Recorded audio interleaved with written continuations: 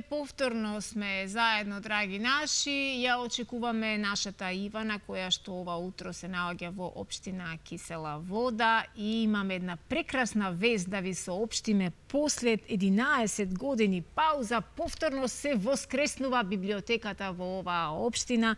библиотеката 13 ноември, а нашата Ивана разговара заедно со Розета Огненовска, библиотекар во оваа библиотека. Иванче, добро утро и драго ми е што имаш да ни споделиш ваква убава вест.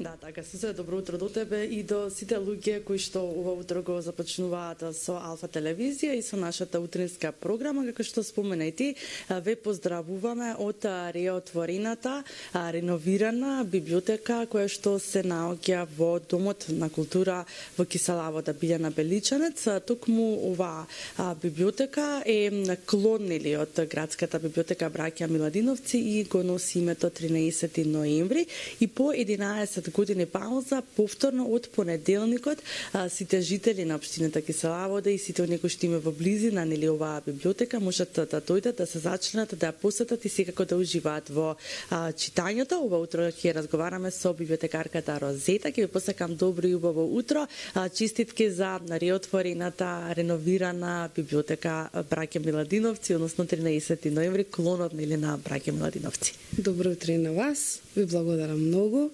А, јас сум Розета Огневска Донакова, библиотекар во нашата библиотека. Како што кажавте, 13 ноември е клон на градската библиотека Браќа Милодиновци Скопје. Таа пред 11 години беше затворена поради реновирање на домот, но благодарение на соработката на нашата директорка на градската библиотека Браќа Младеновци Скопје, градоначалникот на општина Кисела Вода и директорот на културниот дом Билјана Беличанец, библиотеката повторно е отворена на старото место каде што беше и порано. Така што на се нуди еве библиотеката? Дали ги задоволува еве потребите според вас како долгогодишен библиотекар кој што веќе 10 години нели работи во оваа дејност? Дали е доволно еве сега за сега опремена што се нуди а, библиотеката? А, да, според мене библиотеката има задоволителен фонд. Имаме фонд од 8000 книги а, во кои има нели лектири за основно, лектири за средно, а, книги и сликовници за деца, а, актуелна белетристика од македонски од странски автори и стручна литература, но секако фондот со годините и ќе се збогатува.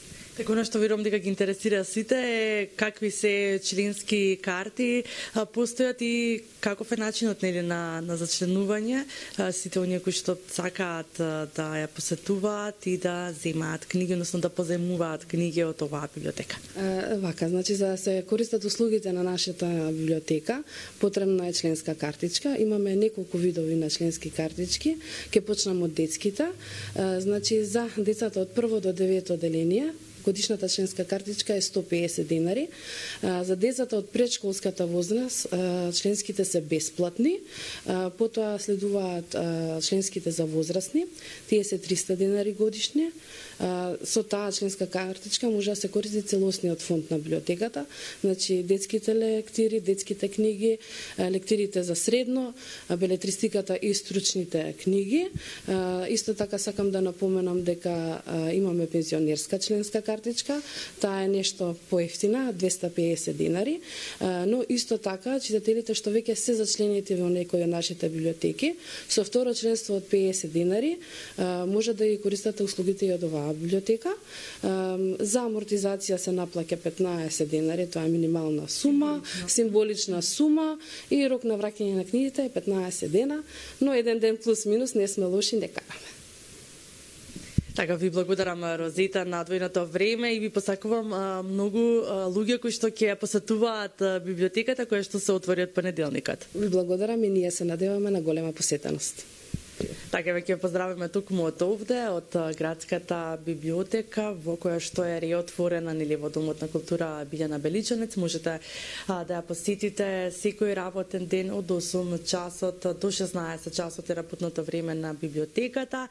А, читајте затоа што книгата е најдобриот пријател кој што никогаш буквално ма никогаш нема да ве изневери и знаеме сите нели дека читањето е богатство, така што учете ги вашите најмали, најмладите да се навикнуваат да читаат и зачленувајте се во библиотеките. Така, ти благодарам многу Ивана, ги поздравувам сите наши гледачи, посетете го сајмот на книгата и бидете со нас.